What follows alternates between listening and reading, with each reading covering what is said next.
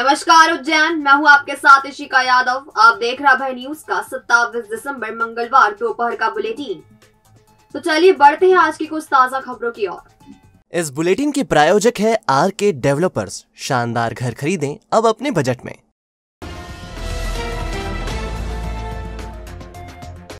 Kanipura road की Padmavati avenue में मंगलवार को एक युवा अभिभाषक की नग्न लाश मिलने से सनसनी फैल गई। अभिभाषक के सिर पर पीछे की तरफ़ चोट के निशान है और कमरे में खून ही खून फैला है। सोफे पर चाय के दो कप मिले हैं, जो इस बात को पुख्ता करते हैं कि कमरे में अभिभाषक के साथ कोई और भी था। अभिभाषक ने हाल ही में बार एसोसिएशन में उपाध्यक्ष पद का चुनाव लड़ा था। 45 साल के अभिभाषक जितेंद्र सिंह गोंदिया पद्मावती एवेन्यू में पत्नी और दो बच्चों के साथ रहते थे। उनकी पत्नी और बच्चे परिवार के साथ तीर्थ यात्रा पर गए हुए हैं और वह घर पर अकेले थे। मंगलवार को उनका शव कमरे में मिलने से सनसनी फैल गई। इस बात की जानकारी जब अभिभाषकों को मिली तो बड़ी संख्या में वह भी पद्मावती एवेन्यू पहुँच गए। कमरे में पलंग, पीटी और सोफे के बीच ज़मीन पर जितेंद्र गोंदिया की लाश पड़ी मिली। शव नग्न अवस्था में था और सिर पर पीछे की तरफ़ से खून फैला पड़ा है। ऐसा लगता है कि सिर के पिछले हिस्से पर किसी ने प्रहार किया है। कमरे में रखे सोफे के हत्ते पर चाय के दो कप और एक प्याली रखी है। इससे ऐसा लगता है कि कमरे में उनके साथ कोई और भी था। सोमवार की दोपहर करीब दो बज के तीस मिनट पर गोंदिया को पड़ोसियों ने घर के बाहर बैठा देखा था। उसके बाद वह दिखाई नहीं दिए। परिजनों ने मंगलवार को गोंदिया से संपर्क करने की कोशिश की और जब उन्होंने फ़ोन नहीं उठाया तो पड़ोसियों को घर पता करने के लिए भेजा गया। तब कमरे में गोंदिया की लाश मिली। फ़िलहाल चिमनगंज पुलिस मौके पर पहुँची और शव पीएम के लिए अस्पताल भेजा है। पीएम के बाद ही मौत के कारणों का खुलासा हो सकेगा।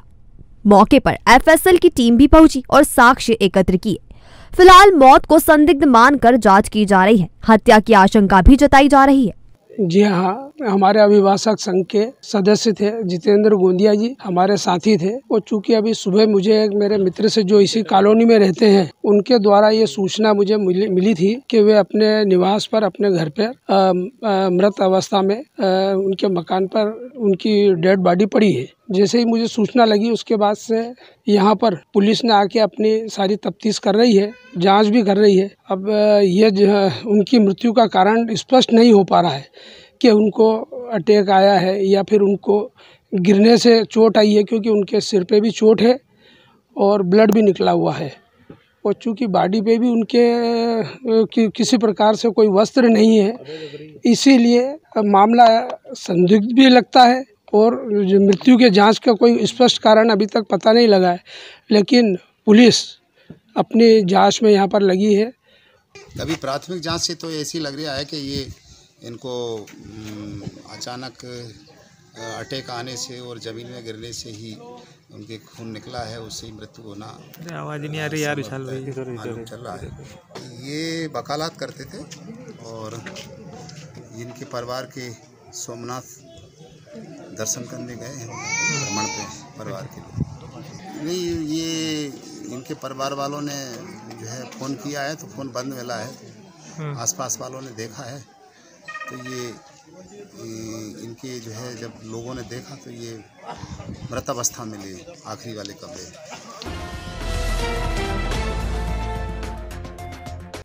इंदौर रोड के अर्पिता कॉलोनी में चाबी बनाने आए दो बदमाश एक ज्योतिष के घर की आलमारी साफ़ कर गए। वह सोने और डायमंड की अंगूठियों से भरा बैग लेकर फरार हो गए। इनकी कीमत पंद्रह लाख रुपए आकी गई है।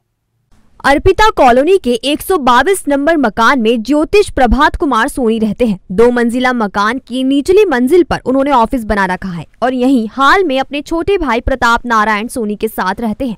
उनके भतीजे income tax inspector Manoj Kumar Soni और अरविंद कुमार सोनी ऊपरी मंजिल पर परिवार के साथ रहते हैं। सोमवार को मनोज सोनी ड्यूटी पर गए थे, जबकि अरविंद चिंतामन गणेश मंदिर। इस बीच निचली मंजिल पर उनके ताऊ प्रभात कुमार सोनी और पिता प्रताप सोनी ही थे। इसी दौरान कॉलोनी में डुप्लीकेट चाबी बनाने वाले को दो लोगों ने आवाज़ लगाई, क्योंकि प्रभात कुमार के अलमारी के लॉक ठीक से काम नहीं कर रहे थे। ऐसे में उन्होंने दोनों युवकों को घर में बुला लिया। जीन्स, पैंट और सफ़ेद शर्ट पहने चाबी वाले ने अलमारी को खोलकर देखा और चाबी बनानी शुरू की। इस दौरान इन्होंने अलमारी में रखा अंगूठियों का बैग गायब कर दिया। बैग में सोने और डायमंड की सत्तावीस अंगूठिया थी और सोने के सिक्के थे। इनका उपयोग प्रभात सोनी पूजा में करते थे। थोड़ी देर बाद चाबी बनाने वालों ने बीमारी का बहाना किया और घर से बाहर निकल गए। उनके जाने के बाद जब प्रभात सोनी ने अलमारी चेक की तो अंगूठियों से भरा बैग नहीं था। भतीजे मनोज सोनी ने बताया कि करीब 12 से 15 लाख रुपए कीमत की अंगूठियाँ और सोने के सिक्के बैग में थी। अभी अलमारी के अन्य लॉकर बंद है। उनके खुलने के बाद पूरी चोरी का पता चलेगा। नानाखेड़ा थाने में रिपोर्ट दर्ज कराई गई है। इस संबंध में भतीजे अरविंद सोनी ने बताया। कल कल दोपहर में ढाई से तीन बजे के आसपास दो लोग बाहर आवाज़ लगा रहे थे, चाबी भरवाने के लिए, चाबी सुधरवाने के लिए। तो मैं घर पे नहीं था चिंतामन गया हुआ था।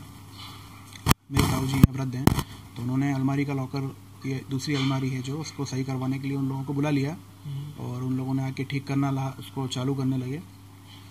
इसके बाद फिर इस अलमारी के कुछ लॉकर में चाबियों में थोड़ी गड़बड़ है इसके लिए उन्होंने उसको बोला ठीक करने के लिए। तो उन लोगों ने लॉकर ठीक करने के बहाने उसमें से पर्स वगैरह निकाल के वो तबीयत ख़राब करने का बहाना हुआ उनका कि मुझे खांसी आ रही है ऐसा वैसा पानी पी के आते हैं तो दोनों एक के पीछे एक निकल गए। और फिर उसमें चेक करा तो उसमें से पर्स गायब था उसमें से ज्वेलरी अंगूठियाँ वगैरह गायब थी। उसमें से लगभग लगभग पंद्रह लाख के आसपास का अंगूठियाँ वगैरह सोने की डायमंड की अंगूठियाँ गायब कितनी अंगूठियाँ लगभग उसमें होंगी? सत्ताईस के आसपास। कल्पाक्ष विद्या परमम बलम।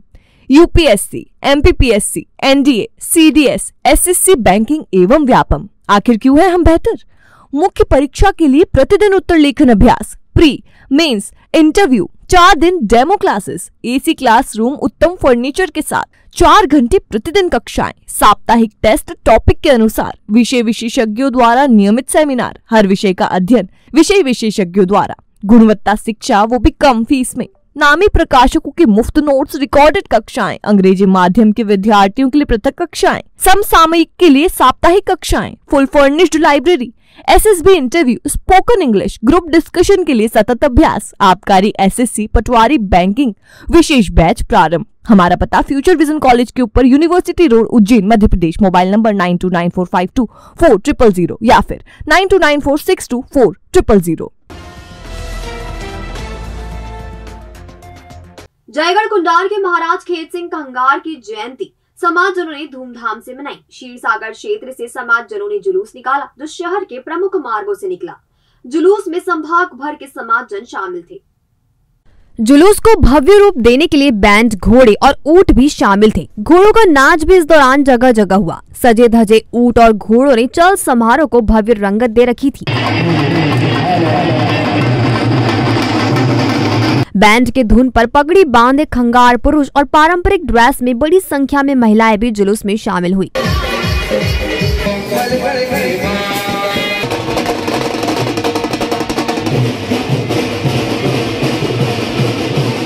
जुलूस जिस भी मार्ग से गुजरा। वहाँ की सड़क फूलों से पट गई। जगह जगह मंच बनाकर लोग स्वागत करते नज़र आए। जुलूस में शामिल समाज के प्रमुख जनों का साफा बांधकर अभिनंदन किया गया। बुधवार या पटेल नगर होते हुए चल समारोह खाक चौक पहुँचा। चल समारोह में उज्जैन, नागदा, रतलाम, मंदसौर, देवास, नीमच, इंदौर, धार के समाज जन बड़ी संख्या में शामिल हुए। चल समारोह आयोजित करने वाली युवा समिति के अध्यक्ष राजू ठाकुर ने बताया क्षत्रिय खगार समाज का महाराजा खेत सिंह खगार जयंती का ये प्रथम उज्जैन में चल समारोह है। यह आयोजन युवा समिति क्षत्रिय खगार समाज द्वारा किया जा रहा है। महाराजा खेत सिंह खगार जयंती पे हर ज़िले में महाराजा की जयंती मनाई जाती है उसी उपलक्ष्य में युवा समिति उज्जैन में मनाई जा रही है। कितने वर्ष से उज्जैन पिछले कई वर्षों से उज्जैन में जयंती मनाई जा रही है। आज के दिन हम प्रथम पहली बार चल समारोह का इसमें मुख्य रूप से कौन कौन सहयोगी मुख्य रूप से सभी समाज के वरिष्ठ जन और युवा साथी सहयोगी है। उज्जैन से काम निपटाकर अंबोदिया लौट रहे एक बाइक सवार को नई खेड़ी और अंबोदिया के बीच अज्ञात वाहन ने टक्कर मार दी। हादसे में युवक की मौके पर ही मौत हो गई। अम्बोदिया का रहने वाला 33 साल का सुरेश पिता स्वर्गीय भेरूलाल परिहार सोमवार शाम उज्जैन आया था। यहाँ से काम निपटा कर वह वापस लौट रहा था। नई खेड़ी एवं पेट्रोल पंप के बीच उसकी बाइक को अज्ञात वाहन ने टक्कर मार दी। हादसा इतना भीषण था कि सुरेश ने घटनास्थल पर ही दम तोड़ दिया। इस संबंध में। सुरेश के चचेरे भाई सुनील परिहार ने बताया। ये घटना अम्बोदय डे अम्बोदय डैम गाँव और ये घटना नई खेड़ी और पेट्रोल पंप जो पड़ता है बीच में नई खेड़ी पेट्रोल पंप उसके बीच में घटना हुई है रात्रि साढ़े आठ बजे। आ, ये सुरेश परिहार उज्जैन आया था किसी काम से और फिर घर के लिए लौट रहा था और अज्ञात वाहन की टक्कर से इस पार्ट पे ही आकस्मिक मृत्यु हो गई। इनकी उम्र पैंतीस साल के लगभग की थी। और इनके माता पिता है नहीं और घर में पत्नी और बच्ची के अलावा कोई भी नहीं है। और दो भाई है छोटे। सुरेश के परिवार में पत्नी एक बच्ची और दो छोटे भाई है। फ़िलहाल पुलिस ने मर्ग कायम किया है जाँच की जा रही है। Tera Mera restaurant cafe prime location पर थ्री इन वन सोल्यूशन शानदार family restaurant roof top cafe hotel जहाँ है एसी सिंगल बेड और डबल बेड डीलक्स रूम्स खास ओकेजन के लिए three D sound DJ lights और सुपर लग्जरियस डांस फ्लोर्स के साथ पार्टी हॉल और कॉन्फ्रेंस हॉल भी। आपकी खातिरदारी के लिए हमारा प्रोफेशनल और ट्रेन स्टाफ रहेगा हर वक्त मौजूद। पार्किंग फैसिलिटी लॉबी एरिया और फ्री वाईफाई भी है उपलब्ध। हमारा पता, तेरह बटा चार अलकनंदा नगर कॉस्मोस मॉल के पीछे इंदौर रोड उज्जैन। संपर्क करें seven eight nine seven three four zero six six four या seven five six six eight zero one two two four या nine three four zero four four seven two seven seven Badnagar के बड़ी हवेली क्षेत्र के निवासी एक कारोबारी की मौत हो गई। वह 16 दिसंबर को सड़क हादसे में घायल हुआ था और उसका उपचार चल रहा था। बड़ी हवेली का रहने वाला 40 साल का पंकज शर्मा, पिता शांतिलाल शर्मा की बाइक को अज्ञात वाहन ने टक्कर मार दी थी। गंभीर घायल पंकज का उपचार उज्जैन के आरडी गाड़ी मेडिकल कॉलेज में चल रहा था। सोमवार की शाम पंकज शर्मा का निधन हो गया। पंकज शर्मा के मित्र मिलन सोनी ने हादसे के बारे में बताया। ये सोलह तारीख के दिन, हनुमान दिन में इनका अज्ञात वाहन से टक्कर मारी थी। इनका उपचार चल रहा था। इन्हें कि अपने चेयर टेबल वगैरह सभी अस्पतालों में ले गए थे। आखिरी बार आडी गाड़ी इनको भरते गया था। उसके बाद इलाज के दौरान इनकी मृत्यु हुई है आज। पंकज के परिवार में माँ और पत्नी है। पुलिस ने मर्ग कायम कर जाँच शुरू की है। तो आपने देखा हमारा आज का बुलेटिन? ये आपको कैसा लगा? इसका फीडबैक हमें हमारे कमेंट सेक्शन के ज़रिए ज़रूर दीजिएगा। कल फिर मुलाकात होगी इसी समय नए बुलेटिन के साथ। तब तक के लिए नमस्कार।